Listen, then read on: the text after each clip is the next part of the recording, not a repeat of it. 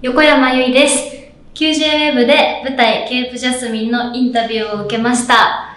えー、たくさんお話ししたんですけれども、あの、共演者の方々とのお話や、台本の内容など、たくさんお話しさせていただきました。